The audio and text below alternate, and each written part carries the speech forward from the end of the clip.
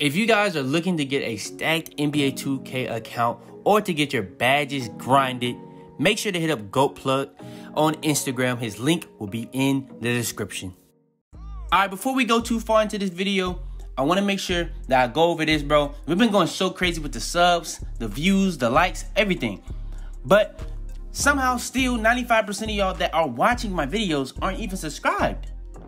Hit that sub button for me. Y'all know I be going crazy. Hit that sub button for me.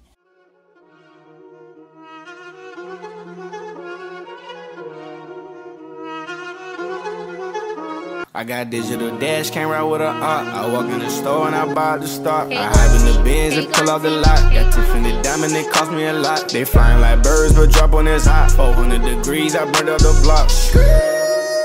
Burn out, eh. make one call, they turn out. CC the gang, get the word out. When the shit getting hot, you the first out. Cover my wrist with a watch and I flood it with rocks. Now I look at the time all day. Be high, right through your block and I drop off the top and I know you can see my face. You my dog at the end, don't care what the bitches. Yo, Pierre, you wanna come out here?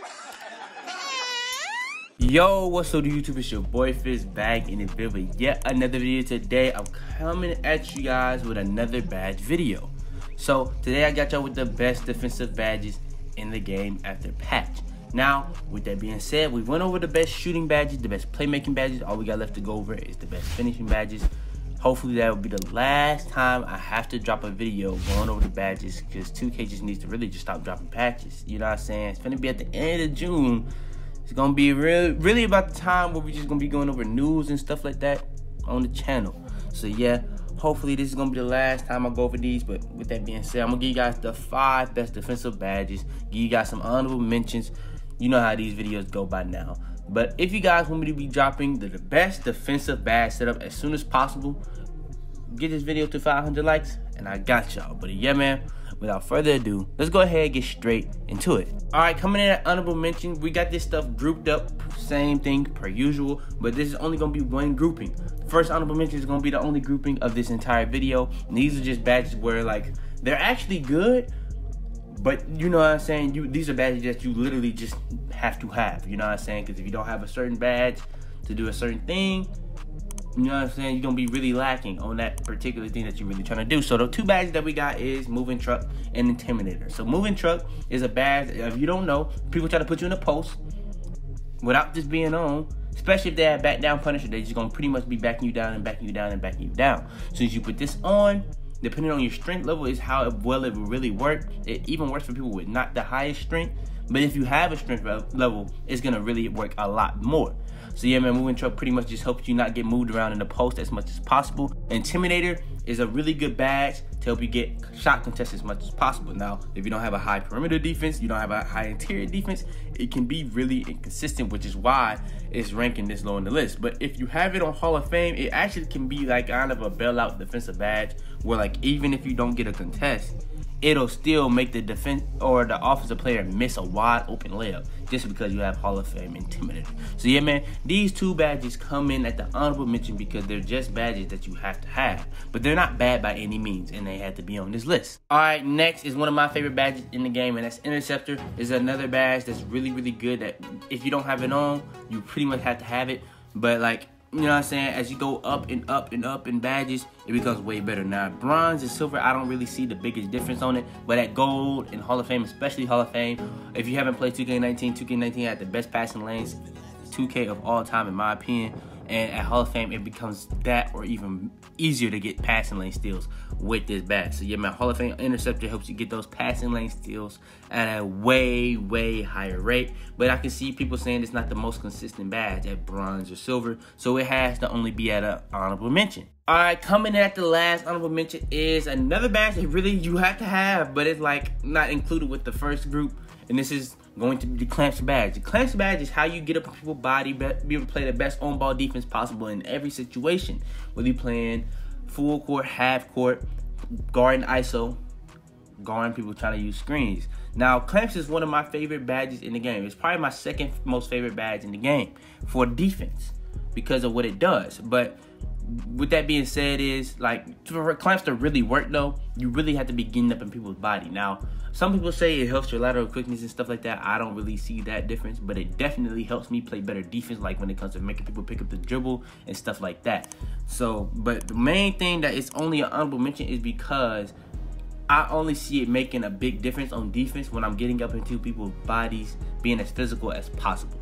So yeah, man, Clamps comes in at the last honorable mention spot on this list. All right, now coming up next is number five. Now, um, this is actually one of the more overpowered badges, depending on what you use it on. You know what I'm saying? Because as soon as you put it to bronze, you're gonna start getting way more snag animations. Now, some builds I don't even use this on, and I get a lot of snag animations. But once you put this joint to bronze, silver, gold, Hall of Fame, you're you're gonna start getting more snag animations and more snag animations. And the higher you have it, the faster the snag animations, the more frequent the snag animations you will get. I'll tell you that right now. I'm telling you that right now. That's just how this badge is. So yeah, man, Hall of Fame is actually a really, really good, useful badge, especially for big man, because pretty much at that point, every big man is gonna have it at least gold. You know what I'm saying? So utilizing this badge to the fullest extent is going to really make you that much better of a big man, especially when it comes to getting boards. Um, once you start putting this badge higher and higher, it really kind of start making you a little brain dead. You don't really even have to time your rebounds. But if you're a person that times your rebounds and you put this on, it's really going to be a really good combo and help you get as many boards as possible. All right, next. This is one of the most overpowered badges in the game because you can use this on any type of big man build, whether you want to set screens, like as long as you're setting screens pretty much. Now, even if you're not setting screens, it, it does affect the gameplay at a really high level, but we're not gonna talk about that first. So first things first when it comes to when you're setting screens. So as you go up and up and up in brick wall, you're gonna be setting the better and better and better screens. Now, if you have a higher strength, it's also gonna be helping you set even better screens. But with that being said, when you have brick wall, depending on what you play, if you get used to it, you can you can learn how to like use the screen to do pick and roll better or use pick and pop better. It really depends on how you really want to play. Brick wall can help you in any one of those situations, especially if you want to go for lies on a paint beast or even want to pop on like a glass cleaning lockdown. It really depends on you. You can even use this on a build like a playmaking glass cleaner and just really be that much cheesy. You know what I'm saying? But also another way brick wall actually affects is like even if someone's not even like trying to use screens, you can just use it strictly for defense when your people are trying to like get up on you, box out you, like even try to post you up. Anytime like somebody's really trying to touch you and be physical with you, you're gonna be draining their energy because that's what brick wall does. It's like a com- combination of screen uh, from brick wall and bruiser from like the old games, but bruiser isn't in this game it's really just brick wall all in one bag. So yeah, man, you're gonna be draining people's energy, setting the best screens, all the above, and that just makes this badge just that much overpowered, especially in this game, screens being that much better. Now, if you have brick wall on bronze, another thing, you unlock the iron wall badge. That is that park badge that you can really like start setting the biggest Miyagi's with. So yeah, man. Um, Brick Wall is just a really, really overpowered bad. All right, next, entering the top three. Now, this top three, you can go in any order and you really wouldn't be wrong, you know what I'm saying? But this is how I would put it. Now, the number one badge is probably like my second, like my third favorite badge to use, but it's definitely the most broken defensive badge in the game because without that badge, it would make this game a lot different. But we're gonna get into that later. So the badge coming in at number three is a badge called Rim Protector. What this badge does is, you know how you can get contact dunks, put people into contact dunk packages. You know what I'm saying? Rim Protector pretty much literally unlocks block animations and as you put it from bronze from silver to gold to hall of fame you start getting those animations more frequently and they're even you know what i'm saying? They're gonna make you even better on defense and stuff like that. So these even these block animations includes ch- helping you with chase downs helping you pretty much when you just standing in the paint helping you get more snatch blocks all the above man. Any type of block animation is gonna help you get that at an even higher level. So you can put this badge combine it with the badges on this list like the next two because all the top three are block animation badges. So yeah you just gotta understand that. But rim protector in general, for big man, in my opinion, it's one of the most overpowered badges in the game. Now, it can be canceled out if you use Giant Slayer, but if, with that being said, Giant Slayer also helps makes you do more layups more frequently, which we're gonna be going in over in the finishing badges, the best finishing badges in the game. But yeah, man, Rim Protector badge coming in at number three on this list. Like I said, you can put this at number one, you can put this at number two, you can put this at number three. However you really want to rank it, I wouldn't argue it because these three badges are so good. All right, next. Coming up next is my favorite defensive badge in the game. My second favorite badge in the game for defense is Clamps. Chase down artists. Once I started using this, man, it really changed the way I really looked at these badges on defense for what was important and what was not as important. So chase down artists, you know, a lot of people what they want to do is they want to rim run, they want to hop step.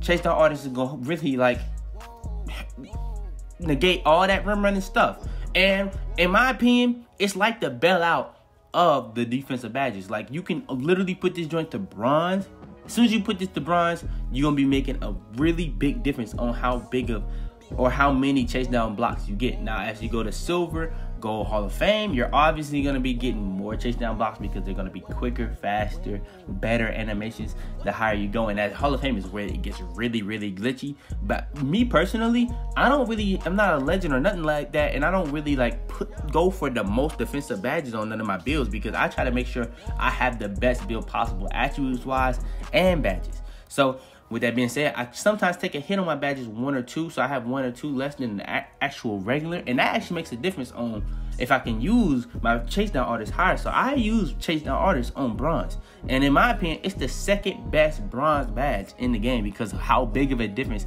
it makes from no having no badge to having bronze. Now with rim protector, I've been using rim protector all year. Sometimes I don't take I take that off and put on other badges to make it higher. I can still play with that. But if I don't have chase down artist on, I'm definitely gonna not it's not gonna be the same at all for me. You know what I'm saying? Like if you combo chase down artist with rim protector, that makes rim protector that much better. You combo clamps with chase down artists. You combo pretty much any badge on this list with chase down artists, especially like badges like intimidator and stuff like that it's gonna make you that much better on defense. Chase down artist is a badge that you can literally use with any bad setup, and it's just gonna make you that much better of a defender. Even if you're using it just at bronze, using it just at silver, or going all the way to gold or Hall of Fame, it's just gonna make you that much better of a defender in this game. And in my opinion, it's my favorite badge in the game, but I have to say it is the second best badge for the defensive side of these badges. All right, last but not least, coming in at number one this is probably the most broken badge in the game. Like you could argue this is the best badge in the game.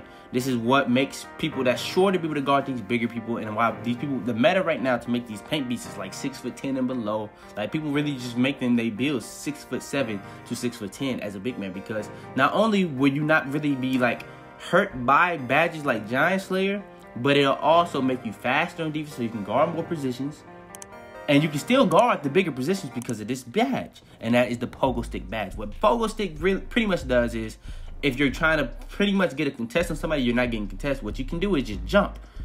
But if you're they don't put it up at the same time you jump, you're gonna be out of position. So what pogo stick does is it allows you to keep jumping and jumping and jumping and jumping faster and faster and faster, quicker and quicker and quicker, so that you pretty much have no time lost so that they pretty much can't even use like the IQ. So say for instance, somebody pretty much just waits for you to jump and they try to put it back up after you jump, you can just jump right back up. Now you can this badge can be counteracted, but it is inconsistent. Like you can pump fake people that's doing this, you know what I'm saying? But like as a especially if you're going against somebody like a post score that just want to post it the whole time, Pogo stick is gonna be a great badge for you, like especially if you're going against a seven foot three that just want to hold X, do the X special. You know what I'm saying? It's gonna be a really good badge for you to help you play defense on pretty much any build. And I've really noticed how big of a difference this badge makes on my six seven facilitating finisher, which is why I think it is the best build in the game because it can guard any position, it can speed boost, it can shoot, it can dunk, and you know what I'm saying? It can stick any position because I can get enough badges where I can have this badge on Hall of Fame. Now, this is a badge that when you put it to Hall of Fame, you really want to have this badge on Hall of Fame. You know what I'm saying? Like you can put it to gold, but if you have it on Hall of Fame, it just makes it that much better. But at Hall of Fame, it's pretty much like what breaks the game. You know what I'm saying? Because it just makes your jumps that much quicker. But yeah, man, in my opinion, this is the best defensive badges in the game. Pogo Stick is the best badge, in, most broken badge in the game. I've made this joint as unbiased as possible because you know my two favorite badges was so spaced out. Clamps was an honorable mention. Chase Down Artist did come in at second, but that you have to understand how much I actually like that badge. And it's actually a really, really good badge, and everyone knows this year how good of a badge it is. But yeah, this, in my opinion, was my best way of being able to rank these with honorable mentions. In my opinion, what do you think is the best defensive badge? Put that in the comments down below. But yeah, man, go ahead, leave a like on this video if you enjoyed. Subscribe if you're new. We got more videos coming out every single day. Turn post notifications to be the first to every single one of my videos. Share this video to anybody you think this will help. I'm gonna have another video coming out this week. All you gotta do is get this video to 500 likes if you guys want the best defensive badge setup. If you guys want the best finishing badges, same thing applies. Just all you gotta do is just spam that like button. Pretty much. More of the story. But yeah, man, like I said, leave a like, subscribe to new man. We got movies coming out every single day. Turn on notifications be the first to every single one of my videos. Just share this video to anybody who thinks will help. But yeah, man, it's your boy Fitz, and I'm about to be man. Tell them to bring me my money. Yeah!